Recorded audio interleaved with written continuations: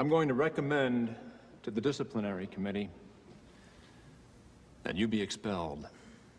Mr. Simms, you are a cover-up artist and you are a liar. But not a snitch. Excuse me? No, I don't think I will. Mr. Slade, This is such a crock of shit. please watch your language, Mr. Slade. You are in the Baird School, not a barracks. Mr. Simms, I will give you one final opportunity to speak up. Mr. Simms doesn't want it.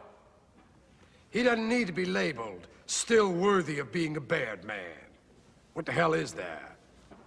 What is your motto here? Boys, inform on your classmates, save your hide. Anything short of that, we're gonna burn you at the stake?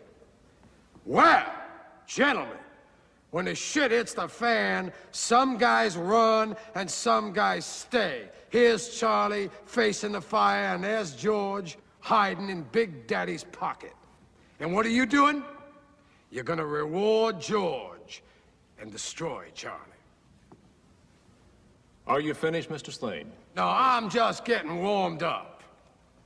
I don't know who went to this place. William Howard Taft, William Jennings Bryan, William Tell, whoever. Their spirit is dead, if they ever had one. It's gone. You're building a rat ship here. A vessel for seagoing snitches. And if you think you're preparing these minnows for manhood, you better think again. Because I say you are killing the very spirit this institution proclaims it instills. What a sham. What kind of a show are you guys putting on here today? I mean, the only class in this act is sitting next to me, and I'm here to tell you, this boy's soul is intact. It's non-negotiable. You know how I know? Someone here, and I'm not gonna say who, offered to buy it. Only Charlie here wasn't selling. Sir, you're out of order. Out of order? I show you out of order. You don't know what out of order is, Mr. Trask. I'd show you, but I'm too old. I'm too tired. I'm too fucking blind. If I were the man I was five years ago, I'd take a flamethrower to this place. Out of order. Who the hell do you think you're talking to? I've been around, you know. There was a time I could see, and I have seen, boys like these, younger than these, their arms torn out, their legs ripped off. But there is nothing like the sight of an amputated spirit. There is no prosthetic for that.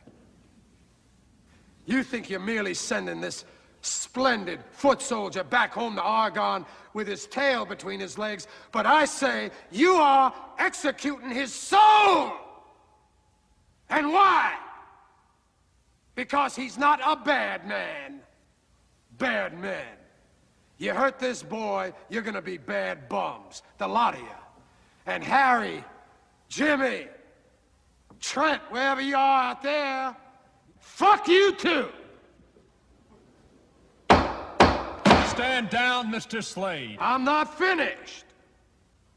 As I came in here, I heard those words. Cradle of leadership. Well, when the bow breaks, the cradle will fall. And it has fallen here. It has fallen. Makers of men. Creators of leaders, be careful what kind of leaders you're producing here. I don't know if Charlie's silence here today is right or wrong. I'm not a judge or jury, but I can tell you this. He won't sell anybody out to buy his future. And that, my friends, is called integrity. That's called courage. Now that's the stuff leaders should be made of.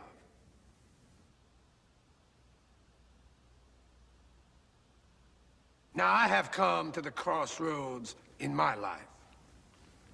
I always knew what the right path was. Without exception, I knew. But I never took it. You know why? It was too damn hard. Now here's Charlie. He's come to the crossroads.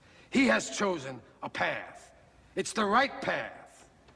It's a path made of principle that leads to character. Let him continue on his journey. You hold this boy's future in your hands, committee. It's a valuable future.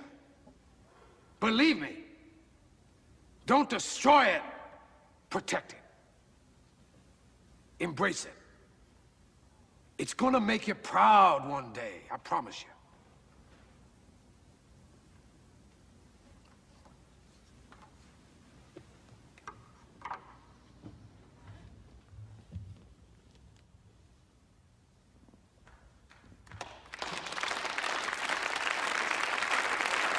How's that for ball?